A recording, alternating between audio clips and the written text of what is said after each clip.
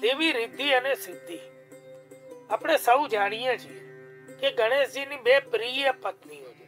દેવી તુલસીના શ્રાપ બાદ ગણેશજીએ વિવાહ કરવાનો અવસર આવ્યો હતો.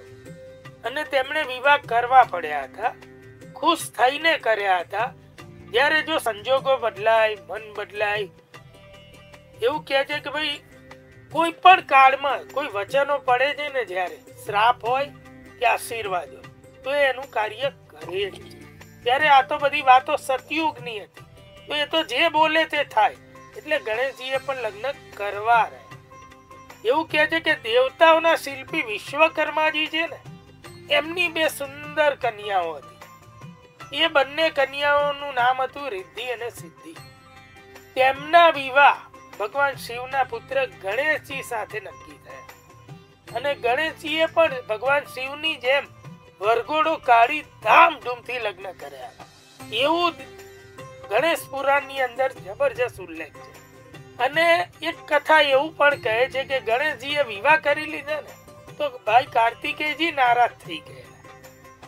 આવી પણ ઘટના બની એટલે આપણે પણ આ- જગતમાં પણ જોઈએ છે કે વિવાહોની ઘટનામાં કોઈ નારાજ થાય, કોઈ વધારે ખુશ થાય, આવું પ્રસન્ન થાય, આવું થતું હોય એટલે વિવાહ બાદ આવું પણ બન્યું હતું. એટલે દેવી રિદ્ધિ અને સિદ્ધિ.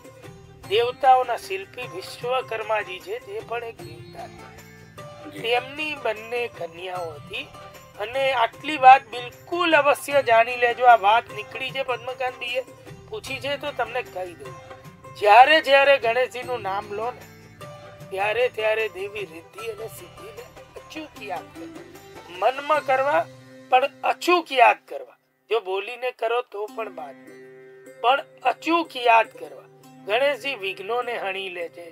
ગણેશજી શુભ અને મંગલ કરે છે.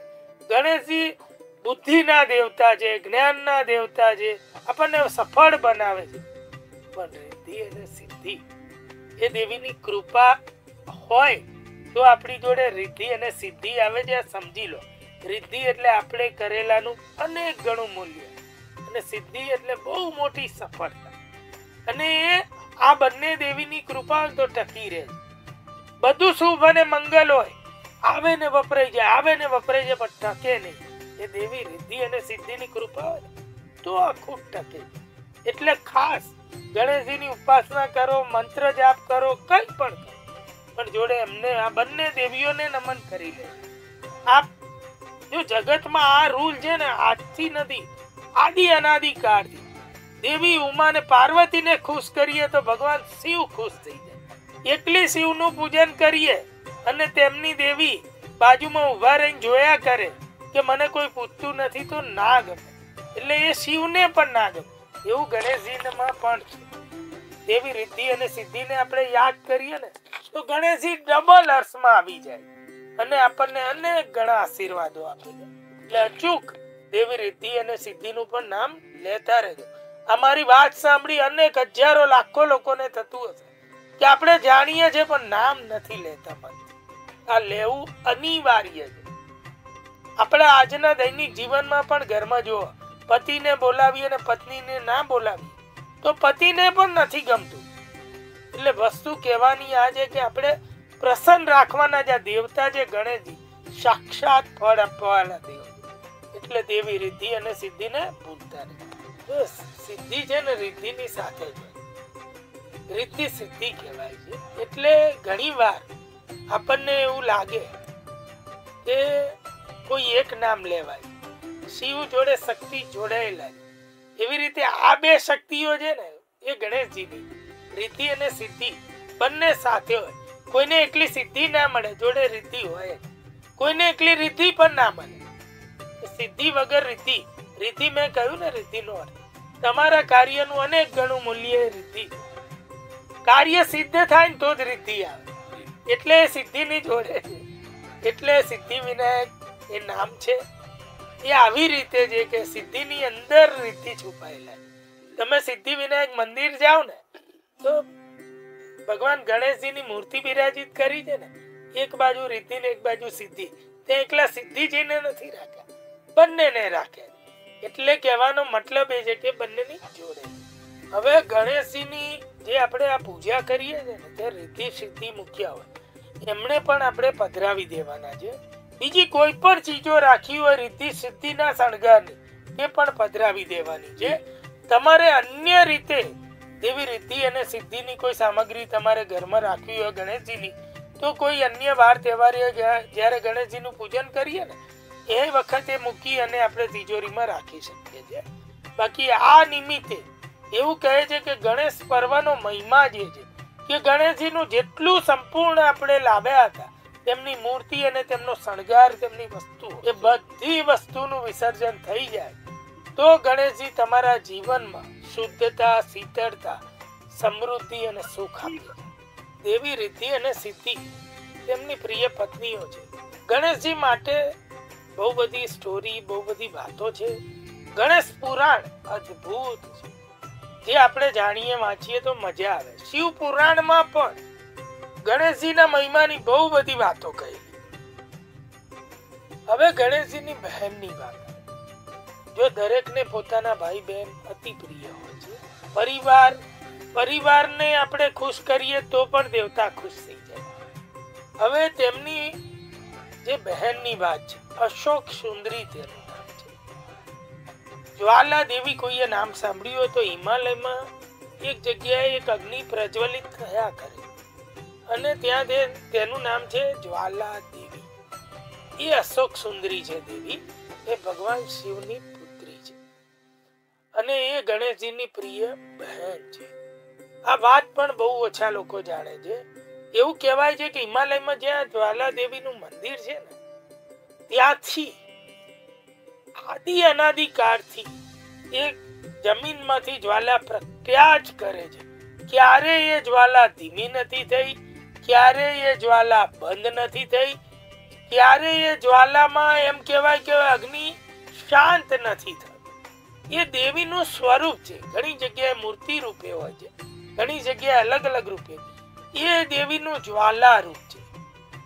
મુગલ કાળમાં એવું કહેવાય છે ઘણી કહાનીઓમાં એવો ઉલ્લેખ પણ કે કોઈક મોગલ રાજાએ એ જ્વાલાને દબાવવા માટે એની ઉપર બહુ મોટા શિલાખંડો મુકાવ્યા હતા.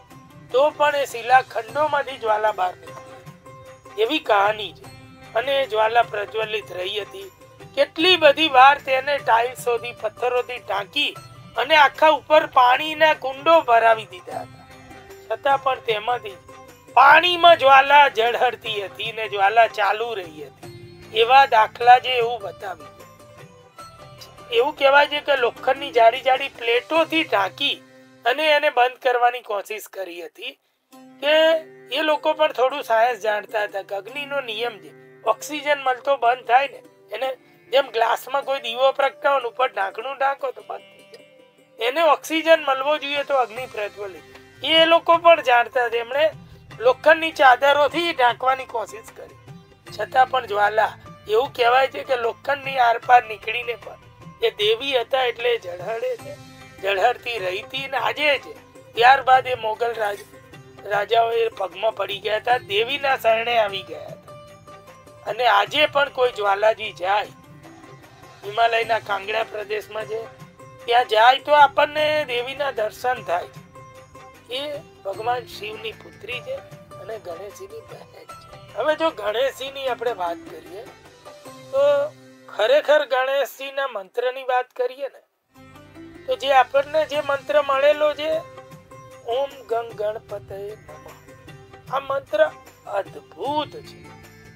પણ આ મંત્રની એક જ વાત છે કે આ મંત્ર સંકલ્પ કરીને કરવાનો. આપણે સંકલ્પ વિના કરીએ ને, તો આ મંત્ર સામાન્ય કાર્ય કરે. એવું પણ બહુ બધા લોકોના અનુભવમાં આવી છે કે ઓમ ગંગ ગણપતે નમઃનો મંત્ર કરવાથી હિમોગ્લોબિન વધ્યું એવું લોકો કહે છે. આપણે કોઈ સાયન્ટિફિક વાત નથી કરી રહ્યા, કોઈ ધાર્મિક દાવો નથી કરી પણ બહુ ઘણા લોકોએ એવું કહ્યું છે કે ભાઈ ગણેશજીનો આ મંત્ર અમે કર્યો ને અને થોડા સમયમાં વર્ષોથી અમારું હિમોગ્લોબિન ડાઉન રહેતું હતું, પણ આ મંત્ર કરવાથી વધ્યું. છે એવું ગણેશજીના આ મંત્રનો એક પ્રભાવ છે. હકીકતમાં, જો ગણેશજી સેના દેવતા જે આપણે ગણેશજી રિદ્ધિ સિદ્ધિના દાતા છે. બુદ્ધિ વાળા છે બળ વાળા છે. ગણેશજી નિર્ભર નહીં, શક્તિ પ્રદાન કરવા વાળા દેવતા અને વિઘ્નોને હણવા હોય, તો વિના શક્તિ કોઈ વિઘ્ન હણાય. એટલે એ કહેવાનો મિનિંગ એ છે ઊર્જા આપનાર, શક્તિ આપનાર દેવ. એ શક્તિ આપે છે તો મનુષ્યમાં શક્તિ ક્યાંથી આવે? કે શ્વેત કણ વધે ને હિમોગ્લોબિન? એ હિમોગ્લોબિન છે ને, એ શક્તિના આપણી અંદર જે તંતુઓ છે કે એ લડે છે, રોગ પ્રતિકારક શક્તિ માટે. એટલે કહેવાનો મતલબ જ એ છે, ગણેશજીની ઉપાસનાથી એ વિઘ્નો શરીરના અંદરના ને બહારના, એ બધા દૂર થાય છે. એટલે એવું બની શકે લોકોની એવી એવી આસ્થા છે કે લોકો એવું માને છે કે હિમોગ્લોબિન વધે છે. શક્તિ વધે છે. શક્તિ શરીરમાં વધે, હિમોગ્લોબિનથી જ એને બ્લડથી જો નક્કી કરવું હોય તો એવી જ રીતે નક્કી થાય. ચોક્કસ વધતું હશે. લોકો કહે છે તેમાં તાત્પર્ય હશે. એટલે હું તો એમ કહું કે સિમ્પલ સાદો, ઓમ ગંગ ગણપતે નમઃ. આ મંત્ર જાપ કરો. અન્ય મંત્રો છે, પણ એના બહુ અલગ અલગ નિયમો છે. આજે આ સવાલ પૂછ્યો તો હું મને એ પણ કહેવાનું મન તમે કોઈ અન્ય મંત્ર કરો ને, તો એના નિયમો ગણેશ પુરાણથી કે અન્ય રીતે જાણી લેજો. આ મંત્ર માટે કેવળ એક જ વાત છે અમોઘ છે. મહાન મંત્ર છે, બીજ મંત્ર, વાળો મંત્ર છે. ગમ ગણપતિનો બીજ મંત્ર એ મંત્રની તાકાતથી ભરી દે છે. એટલે આ એક જ મંત્ર કરો, પણ આમાં એક જ છે કે સંકલ્પ એનું બાણ બની જાય છે. સંકલ્પ કરી અને કરી દો. તમે વારે ઘડીએ અલગ અલગ સંકલ્પો માટે કરી શકો છો. એટલે ગણેશ મંત્ર, ઓમ ગંગ ગણપતય નમઃ. આનાથી કોઈ તાકતવર નથી. બીજા અન્ય મંત્રો છે ઘણા તાકતવર, પણ એના બહુ બધા નીતિ નિયમ છે, જે આપણે નહીં પાડી શકીએ. તો એ એનું વિપરીત કાર્ય કરે. દરેક મંત્ર છે ને, અલગ અલગ એનર્જીના હોય, અલગ અલગ તત્વના હોય. કોઈ જળનો હોય, કોઈ અગ્નિનો હોય. એના નીતિ નિયમ ના પાડીએ તો નુકસાન થાય. એટલે જાણવા પડે. આ સરળ મંત્ર જેને તાકાત હોય એટલે ઓમ ગંગ ગણપતે અમોઘ મંત્ર. આ કરો. જે ધારો એ કામ થઈ